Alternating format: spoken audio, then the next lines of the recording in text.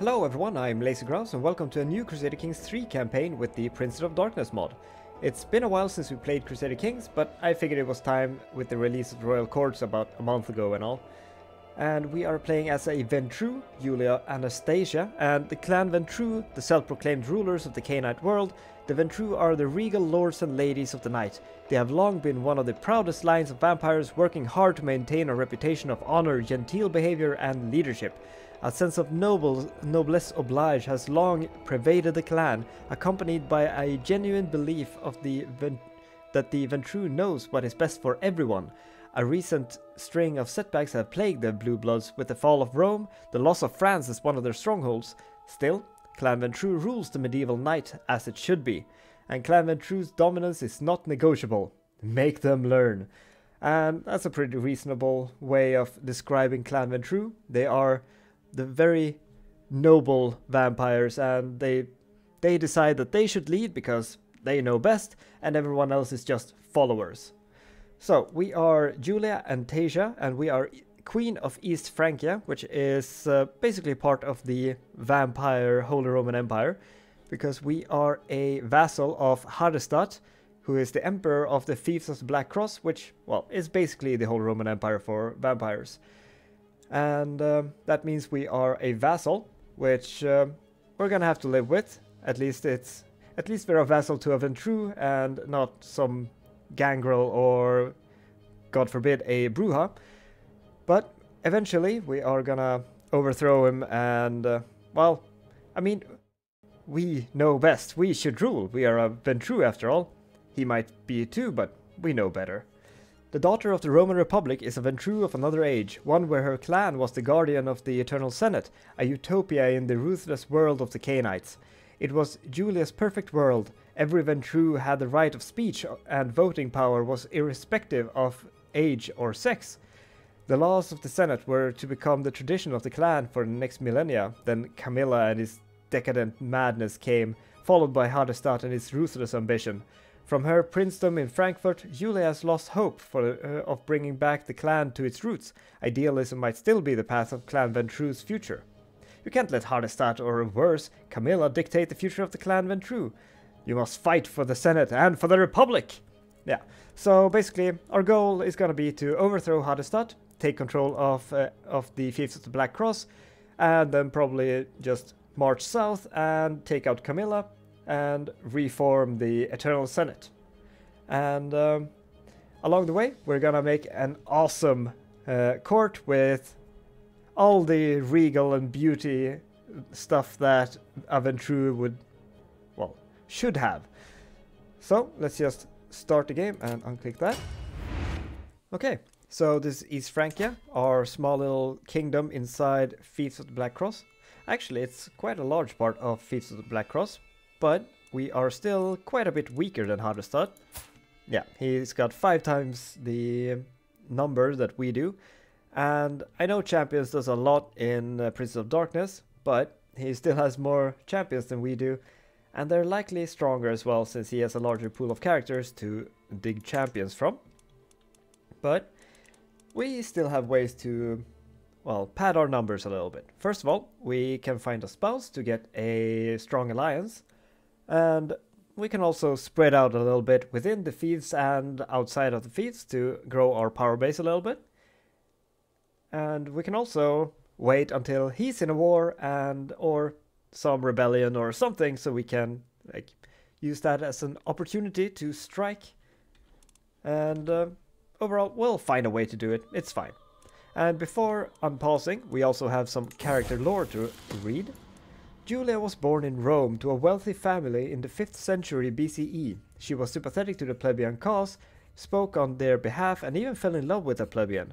Speculation pla uh, places her political acumen, re rhetoric skill, sense of duty, charisma, strong will, common sense, and compassion as valid reasons for her sire's attention. While Julia was working for the good of all the Eternal Senate in Rome, by 264 BCE, war with Carthage started, an event that has profoundly affected the idealistic Roman. Over the century-long conflict, Julia watched her beloved Senate descend, descend into madness as Rome un unopposed growth meant wealth and power for those who could grab it first. The dream of equality for all Ventrue died, and with it, Julia turned, turned her back on Rome and disappeared for centuries. Her journey came to an end when her last hope, a Nosferatu elder named Angiwar, met her in a castle just north of Frankfurt. While he did not possess the information that, he, that she sought, the two formed a pact of mutual advantage. Under her stewardship, ambitious young Ventrue who wished to fulfill her vision of a reborn eternal senate flocked to Frank- Frankfurt. Julia pro- Julia's proponent labeled themselves as Antatians in her honor and espouse equality among Ventrue, in the opposition to the medieval and ruthless Black Cross, and look to her to her as their protector and guide. Yeah, so we're not a big fan of Hardestadt because he is uh, well, he's a tyrant. So we we're gonna make a better country, a well, a Roman country, and reborn or reform the um, Eternal Republic, which we can do if, as long as we're an independent ruler, um, the Black Fiefs are big enough. You completely control Roma, and the Fiefs of the Black Cross title must be yours. So before we go to Rome and all that and remake the Eternal Republic, we need to overthrow Hardestadt and take his title, which should be easy enough. Well, we'll do that soon enough. We'll just play nice for a while and eventually we'll overthrow him and become Empress of the Fiefs, which is gonna be great. And um, yeah, we're in no rush because we also have a royal court to, well, to pimp out. Right now it's very dark and empty and boring looking, but we are uh, working on the grandeur. It's growing as it is, which is gonna be great. We're about to get grandeur 3 and we're spending a lot on these. I'm not sure we're gonna lower it right now because well we are we are gaining money which is just fine and uh, well we do get a bunch of bonuses from just letting these be as they are and since we can't afford it we're gonna leave it and we don't have any artifacts right now, but that'll change as well once we can afford, let's see, uh, the common antiquarians. Because these antiquarians can make artifacts. We can also, with the help of Prestige, let's see, which is one reason I really liked her as this playthrough. She has the diplomat tree all filled out, so we can buy artifact claims, which is gonna cost a lot of uh, prestige, but we're making a bunch of it, and we're gonna make stuff that give us more prestige. So hopefully we're gonna make a shit ton of prestige just by claims on artifacts and go to war over them. Because, well, it's fun to have artifacts, so we're gonna try to get some.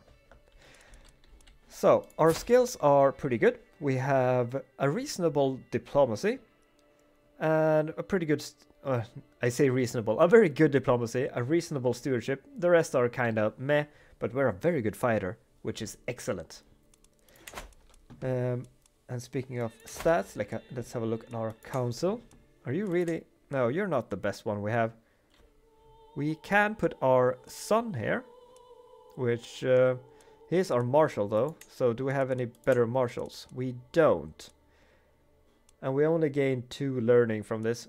It would be nice to have since... Uh, actually, this is piety. Right, this is the chaplain, not the chancellor. So, we don't care too much. We are making so much piety as it is, so 11 is fine. We got the chancellor, and he seems to be the best person for the job. This is our uh, our steward and the the Nosferatu that the Lord was talking about, Angiwar, or how you pronounce it. But he's our best friend and steward, and you are fine at your job. We could put put our son here, but as we said, he is our marshal, and he can stay there because he is absolutely the best the best person for the job. Now this person, our spy master, you are horrible I don't think you are the right person for the job. And unfortunately, everyone else is kind of terrible. Like, he is super angry because he wants a spot on the court, but like, look at this guy. Just be happy you can be a champion. Seriously, he is horrible. And so is she. She's happy that she's on the council, but I mean, she is still really pissy. Especially since we hold her de jure duchy, which is, yeah, she's never gonna be happy with us. So we're just gonna put the Count Rolf, the Black Bishop, over here. He is a very good person for intrigue. And he's it's fitting because he is a Nosferatu and they are like traditionally very sneaky and good at that sort of thing. Okay, so we have the spouse that we need to, and we need the we need a strong alliance since that will help us overthrow our our liege Hardestadt. So let's sort for alliance power, and this guy is pretty good. He has the Eastern Lords, which is a pretty strong country. He has a lot of champ uh, no, not champions. He has a lot of uh, soldiers and a bunch of champions. So he is very good. He's the strongest alliance we can form, it seems, from at least the auto uh, auto sort for strongest alliance. But I trust them because uh, this guy has fewer champions and fewer levies. This is even fewer. So I think we're gonna marry this guy. Mostly because we want the alliance. It's helpful that he's also a Ventrue. And uh, it is, however, a little bit unfortunate that he is, uh, well, that he has a title. It would be nice to, like, marry his child or something. Because then we could get the alliance and have someone on our council. Because since he is a king, he's not gonna be able to be um, like a ruling spouse. But we're fine with this. We're Gonna get some prestige as well, which is gonna be nice. We also have some uh, building to do, because I had a look at this before, so I cheated. And I want the princedom, because that's a good amount of tax, we get some levies, we get some prestige and renown, we got some development growth, which is all really good. In the future, we would like a Grand Temple. That is a lot of money, but that's a lot of tax. And we get a bunch of other stuff, which would be great. I'm not entirely sure that the that the uh, tax justifies this cost. But maybe, I don't know. This would be 750 months for this to pay for itself and that is a long time. That's like, what is that, 100 years? Yeah, maybe that's not worth it. okay, um, I also plan on, like, we're not gonna do this now because we have to finish our Prince of Town first. Uh, but I was thinking, like, influence the underworld. We'll tank our popular opinion, but we'll get some money. I would like this as well to get the extra prestige. Because basically we just want money and prestige. Because money would allow us to hire people for our court. And prestige, well, will let us uh, get claims on artifacts, would, would be nice. Okay, so I think we're ready to unpause because we haven't gotten the how we hunt yet So we're not gonna do that. Oh, we got a bunch of alliances that we're just gonna pop. Because most of these are like vassals and um, siblings and stuff like that that can either help on overthrowing our liege or just prevent them from uh, rising up and also protect us if some, someone attacks. Because I don't think most of those are gonna want to... Uh, it's not people we're gonna attack anyway. So, now I think we're ready to unpause. We have a few champions, but... Do we though? How many do we have? One, two, three, four, five, six, seven, eight, nine. 10, 11. No, we we have. They're just very bad. oh my god, they're bad down here. Like, this is kind of where I draw the line. About 15, 14. It's still pretty bad for a vampire, but it feels like they... It's easy to get better than that. And why did the this music got so loud? I'm gonna fix that real quick. Okay, so that's a little better.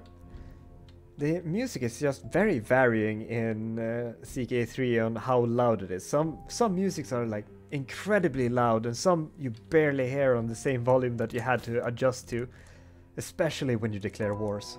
That is just nuts. Okay, so I'm gonna say that we are the heir to the Fiefs, which would be great if he just collapsed and died right now. Uh, right, we're waiting on that. And right, so the heir for East Frisia. I'm thinking we we nominate Anguar because we have our pact with him. I don't care, that's fine. It just feels right to give him the heirship. Give him the inheritance.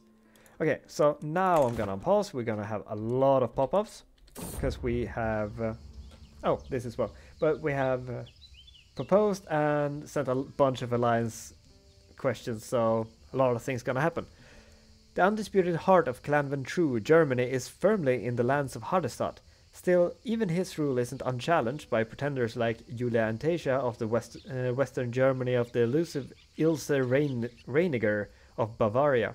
To the south, the usurpers of Clan Tremere have a precious position with the vicious Tzimisce of Eastern Europe closing fast on their strongholds. Their defensive accord with the mighty Ventrue is perhaps their only lifeline. Close, close by li lies Alexander of Paris, the exiled prince of France, a powerful vampire by his own right, but alone politically.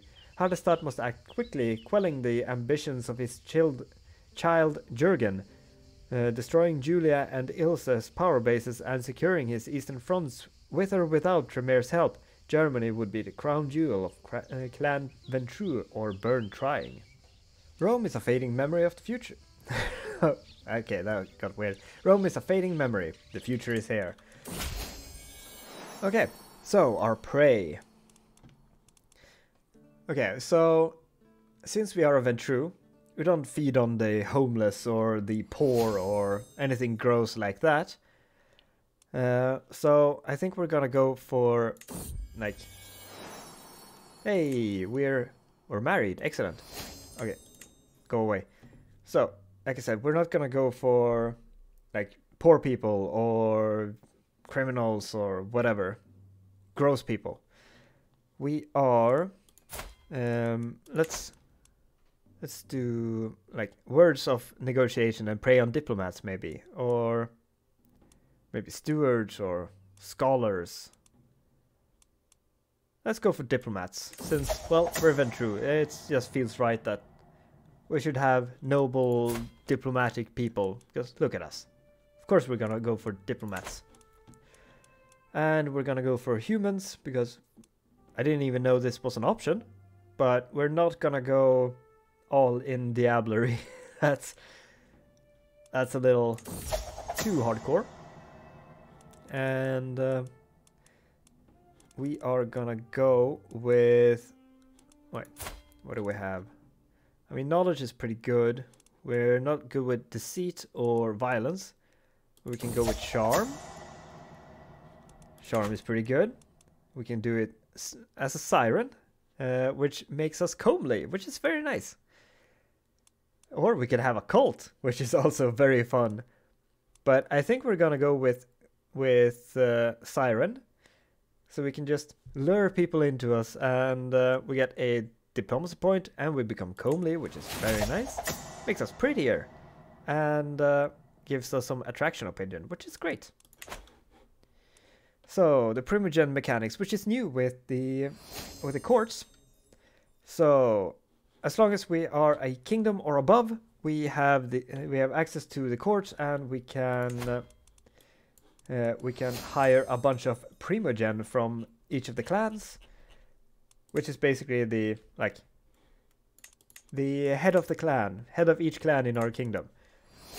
So that's uh, gonna cost money, and um, and um, prestige. So we're gonna do that when we have a surplus of prestige and money, but it's gonna be very good when we can afford it. Okay, so click through all of these. We just need these to stop. So just yeah, a couple more. There, there we go. Is that the last one? I think it is. Okay, so our story so far. Lady Antasia, you stand strong in your exiled home in Germany, but your heart aches for the triumphant return to Rome. Clan Ventrue has fallen far since its noble roots in the Eternal Senate, and you are you are the only one that can stop Hardestadt and Camilla from turning your beloved clan into a mockery of itself. This endeavor will will take time, though. But you you recently found surprising ally in your in your quest. The Nosferatu An Angiwar is a strange one, fond of fanciful tales, but he has already proven proven to be a worthy friend and even more worthy champion for your cause. With your combined might, there is still hope for the true ideals of Rome. Yeah, so is our friend and steward, and right now heir to uh, East Francia. Because if we die, at least we can trust that he reforms the Eternal Senate. He might not be a Ventrue, but he's an honorable Ventrue, I'm gonna say. So, let's have a look at our court. Oh, we already have a little court event here. A pool of blood is congealing under the feet of Johann, a diplomat sent by my ally Count Henrich of Volstag Sopor Sopron. Some guy I'm allied with. Didn't really pay attention to who we allied, but a bunch of people. The immense quantity soaked up by my fine carpet, I can only assume he has been bleeding on this spot for hours, if not longer. Dude, get a tourniquet on it or something. My apologi apologies for this mess. I was uh, defenestrated by a dwarf trying to rob me in an inn on my journey to Frankfurt. However, as the rapscallion cushioned my fall, the diplomatic visit can continue. It is, it will still be days until my blood loss is fatal. okay, that's a that's a pretty fun uh, event to start off. Um, he will bleed even more. You will have to buy a new. Uh, you will have to buy a new carpet. Or we can. Uh, uh we can talk now, but your liege is paying for my carpet. I mean, that does seem fitting. He is gonna be mad, but I mean, he's he's fine. He's, it's not like he's a very strong ally or something like that. He's a count. And I'm gonna say he can pay for our carpet. Because, I mean, if you send a, blind, a, a bleeding guy to come and bleed on our carpet, you better pay for it. And we get a bunch of court grandeur, which is excellent because that means we're at grandeur uh, rank 3 now, which manage Royal Guard Counselor task. I don't know what that is. Uh, increases the control and accounted for. Oh, okay. I guess that's the the um, martial. Oh, that's not what I meant to do. The martial activity. So we can hold court every five years, which we're gonna do, because it can bring us a bunch of benefits and it's fun. Wait, what are you doing here? Shouldn't you be in your own court? Okay, whatever. Sitting on my throne, I gesture for my guards to open the doors of, doors of the hall. A stream of people file in, some lining up in front of my throne, while others move out of the way so they can simply observe the proceedings. After several moments, all moment, all movement in the chamber have ceased, all faces turned towards mine expectantly. In front of me, I count three petitioners lined up in an orderly row, waiting for me to call on them. So, first one, please. A thin, raggedy peasant stands before me, gawking at the opulence of my throne room. Obviously distracted, I call him, call him to get his attention. Oh, I'm sorry, my lord. I, uh, my village in Frankfurt was hit by a blight this year. We lost only our crop, by, but our seed too. We have nothing. We shall starve without your help. Glancing around my throne room again, he adds, Surely you have wealth to spare. Okay, so we can get crop sharing, which is development growth and popular opinion, which is very nice. Let us establish crop sharing system with neighboring villages, which doesn't cost us anything. This is just because we have good... Yeah, nice. Uh, you will have funds. You need to rebuild. Get please, please peasants. Your service will, will repay your debt. And plowshares to swords. So we get, so we make them soldiers. But no, let's uh, do crop sharing. That seems great. We get some development growth in our capital and popular opinion growth, which is great. And a hero of the frontier. Over the last few days I've heard tell of a mighty hero of the peasantry, who has won the hearts, of, uh, hearts and minds of the common people uh, through incredible deeds and matchless bravery. This hero, who goes by the name of Tiberius, oh, a very strong name. Oh, are you a vampire? No, you're not, but you are of the Eternal Senate. Oh, you're a very good good uh, fighter. We might ghoul or sire you probably, just to have you as a champion. Probably ghoul. So, this hero who goes by the name of Tiberius has been defending the small folk from the Saxon raiders and he now has now traveled uh, the way to Frankfurt to seek an audience with you. There is no doubt that Tiberius is a great hero, however, my court are adamant that I do not uh, I do not elevate commoners beyond their station. Well, I'm not gonna give him like titles and stuff, but or land, but I will gladly make him a a knight. Ooh, that's a lot. So I gain a bunch of levies and popular opinion, some prestige, lose a bunch of money. Does this? But that doesn't. Oh, we only honor him. We doesn't make him a uh, champion. And uh, you imprison Tiberius, Tiberius Macedonian. No, I don't think so. I think we're gonna um, make him a knight because he's very good. And as a ghoul, he's gonna be even better. He's even a pretty good. Well, he's not a good marshal, but he's got some pretty good traits. But yeah, let's make him a a knight. Gonna cost a bunch of money, but we have some pretty weak knights right now, at least the bottom end. So he's gonna be good. We are actually just gonna... Oh, well, we'll get back to him. My son, Senator Agrippa, and my grandson, Senator Gischeller, stands in front of me bickering, as usual, about the best politics for our county. Country. War is the only way, uh, only way to make a country rich and powerful, states Agrippa assertedly. Only in peace can a country grow and prosper, retorts Gischeller. This time, however, they expect me to take their, their position. Our people are proud warriors, not cowardly peasants. Only peace can bring us prosperity. Oh, we get some grandeur, which is nice. Lose a lot of levy size, but get a lot of holding taxes, which is also nice. And we only do what I decide which is pretty fitting. I wouldn't lose much from just having them lose 10. They're very happy with us.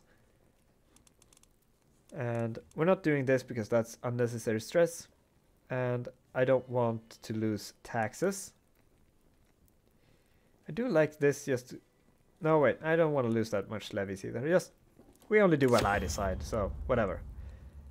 Uh, that's a pretty successful court held, I gotta say. So, wait, there, there he is.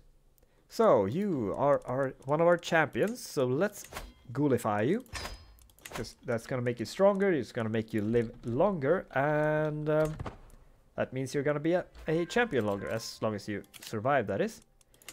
Oh, uh, we're gonna untick these because, well, we can ask him to increase uh, the development in our capital and stuff, but I don't think that's ever gonna happen because we are rivals, right? I think we're rivals. Oh, relationship, rivals, yeah. So he's generally not gonna like us. So odds are he's not gonna give us shit. So uh, we're gonna get this. So what what are our options? We can get potent. No, we can't. We already maxed out potence. Uh, we maxed out fortitude. We have Auspex, which, which is great. It will help us find the right resonance while we hunt. And uh, okay, we've already done all the things we've we have available. Because we can't pick these even, even if we take potence, because these will be locked if we don't pick celerity, then we can't use celerity. So I guess we just go for these for now. And I guess diplomacy, because that is what we're gonna get most experience from. Uh, we're not gonna have a lot of dread because we are compassionate. Actually, we should have a look at that. Ooh, monthly prestige per night though. That's pretty good. Because we're trying to have a lot of nights and we want a lot of prestige, so that would be good. Uh, we don't care about that. I mean, we're not gonna go down the family tree, so to say, so we're not gonna go down this. So let's go firm hand and go for the extra prestige because we want a lot of prestige. So let's speed this up and let's just... Oh, what's going on? Okay, so he's trying to grant us a bunch of vassals, which I am happy with. Yeah, that's that's a big gain. Thuringia. Um, Anhalt. Are you just giving us all of the lands? Um, you are Swabia. What? What is this? Marienburg. Marburg. Gladly. And oh, Harold Settler. Okay. I know who this guy is. He is fucking creepy. like, he's the psychopath vampire, isn't he? Uh, a member of the Circle of the Three Revelation, loose collection, collective of Malkavian seers, philosophers, and mystics, Harold Settler was a strong defender of the Sal- Salubri when the Tremere started destroying them. Using the little influence he had to shelter and protect them wasn't uh, wasn't enough, and he grew more desperate as the Tremere purging gained traction. Harold pleaded to any spiritual enti- entities, even gods, to help him, and one of them answered. That night, Harold Setter, Settler was born as a mockery of everything he once hold, held dear. Future canon, becoming a willing pawn of the entity known as the Wyrm, Harold will become one of the most horrible Cainites to walk the night, his experience will truly reach the global scale, leaving untold pain and despair in its wake. Yeah, so he's a fucking sicko. and I forgot that he just hung, hung out over here. So, okay, he can be my vassal. And we just grew a lot. Well, thanks. Why would you give us that? Oh, shit, you've grown a lot but so should we have. Um, we should have gotten a bunch from from our our uh, um, vassals. There's the word. Breach of the Masquerade. Ansgar saw the Countess Claudia Charfleur um, violate the silence of blood, revealing Claudia Schoenecht as a vampire. The masquerade has been breached. What shall we be done with Ansgar? So you are a little shitty count that hates me. Um, we can. Ansgar gains a bunch of stress. 10% chance masquerade will exposure will increase. I don't like that. And this is Ansgar. Yeah. I mean, we could just try to make him forget. Thing is, I don't want to spend too much blood because we are compassionate, which means we gain. I think that's the one that makes us gain stress from, well, murdering people and feeding on people. So we can't feed freely, really, because it's gonna cause us a lot of stress. Yeah, like that. Oh, this is just 18. It's not that bad. There, there we go. 36 if we want to feed him. Feed on him. Yeah, so we can't really like go nuts on feeding, so I don't want to spend too much blood. So let's just ignore him. Just 10% chance that we uh, get some exposure, and that is risk the exposure. There's the word. Uh, it's hard to speak sometimes. So we can get a weak hook, hook if we forgive her. We can imprison her, which is not that likely. Oh, 50-50, but I don't think it's worth it. She's just some no-name count that we don't really care about. So let's just forgive her. We get a hook. That's fine. Hooks are nice. Oh, and I heard good things about you and I'm interested in starting a written conversation. I hope that this letter finds you willing, for I am awaiting your swift reply. Hmm. Who are you? You are some ruler over at... Um, where are you? Over in Bulgaria. Huh. Okay, well... Let's... Uh, well, we don't really need to make a friend with some random um, Hungarian. That's what I said. Ah, whatever. So let's just grab the prestige. It's gonna be great. We can speed up now. Just let some time pass. Are you? Oh, you're gifting an artifact to me? Chronicles of Shadow. Ooh. Gains a bunch of piety per powerful vassal on the council. Get an ex extra court grandeur. Oh, accept. So, let's go have a look at our artifacts. That is our first artifact. The Chronicles of Shadow.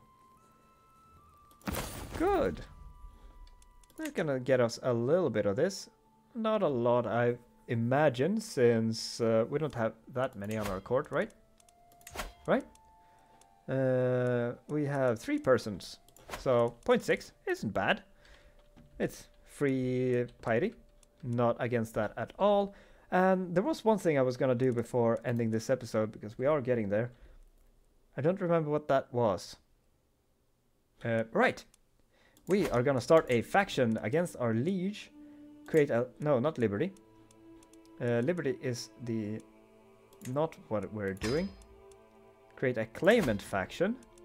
And we are claiming the Fiefs of the Black Cross and do that. And I mean, right now it's only us. We might get some people to join. I don't know. We'll see. It doesn't hurt to just have it there. Oh, and she wants an alliance. The Bavarian lady. Yeah, I'm fine with that. Okay, with that, we haven't advanced that much, but there was a lot, a lot of things to do in the first uh, in the first start of this campaign, but we uh, we got a lot of things done, and I think it's gonna be a really fun campaign. So thank you so much for watching. I hope you enjoyed this first episode. If you did, consider giving it a like, comment, and subscribe, and I'll see you next time. Bye bye.